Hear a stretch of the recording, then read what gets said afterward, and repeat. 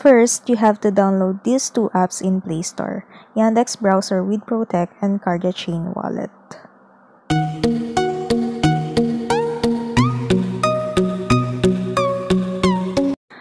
After po natin ma-download yung dalawang app, Yandex Browser with Protect and Cardia Chain Wallet, open lang po natin yung Yandex Browser with Protect. And then, close lang po natin ito and click yung search tab.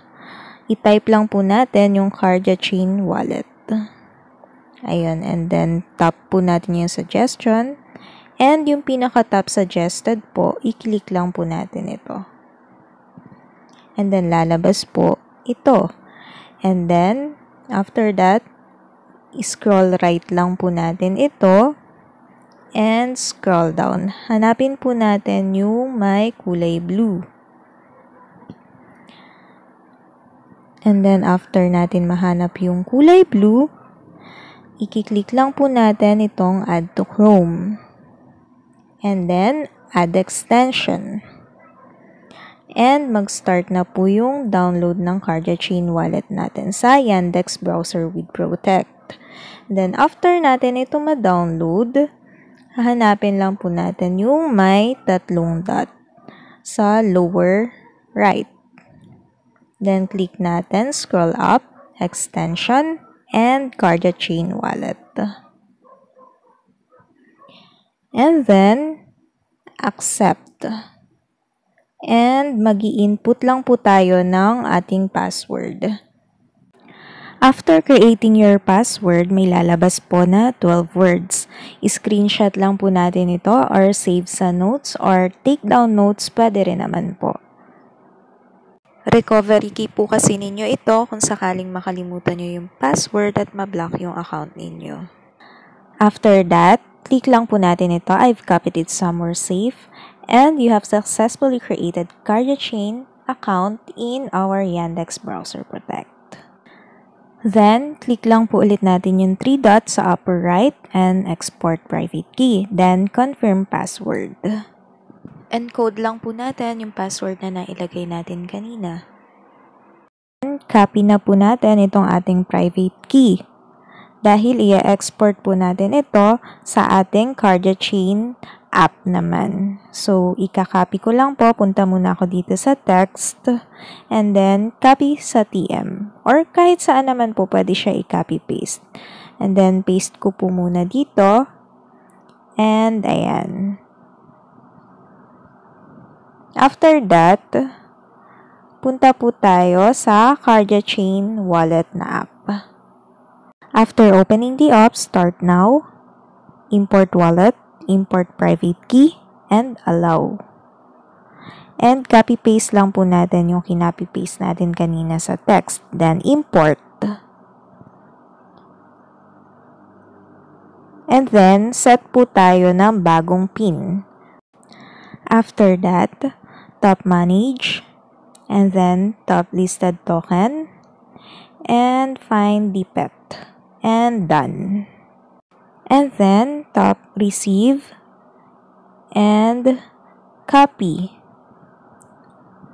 Punta po ulit tayo sa text, then copy paste. Ito po kasi yung address na pagsasendan sa atin kapag bumili tayo ng DPET and balik na tayo sa Yandex browser. Then, copy po ulit natin itong nasa upper left account and paste ko po ulit dito kay TM kailangan po magkamukha yung address dun sa Cardia Chain at sa Yandex Browser with Protect. Dahil like what I said kanina, dito po tayo tatanggap ng DPET na bibilhin natin. And then, balik na po tayo kay Yandex Browser with Protect and add tab na lang po tayo. Click yung number 2 na yon and add. Tap search tab and then type po natin yung mydefi.pet.com.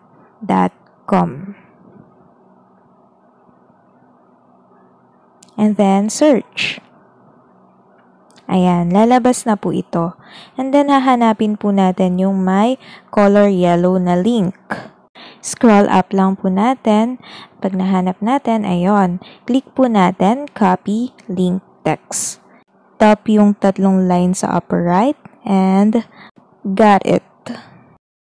After that, tap ulit natin yung tab and then cardia chain and then yung tatlong dot sa lower right.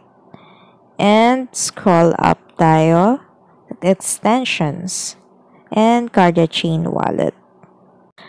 And ayan, punta tayo sa tokens, add token, And ipipaste lang po natin dito yung kanina na kinapi natin na color yellow dahil ililink na po natin yung My DeFi Pet account natin sa Cardia Chain. So, ayan, pinaste ko lang. And then, after that, add. After adding po, lalabas na dyan yung ating DPET. Yung DPET na yon ay magagamit natin to convert pet. 3 DPETs is equals to 1 pet. Then, punta na po ulit tayo sa tab my DeFi Pet, and Play Now. And then, tap po ulit natin yung upper left, yung may tatlong lines, and game. On Cardia Chain, syempre, dahil yun yung ginawa nating account. And ayan, zero DPET ka pa lang kasi hindi ka pa bumibili. So, kapag bumili tayo ng DPET, ire-refresh lang natin yan and we can play the game. So, that's it guys! And that's it. You have successfully created account and linked it to your Cardia chain. As of now po, on maintenance ang server, kaya yun ang naging end. But, I will be uploading more tutorials on how to play the game.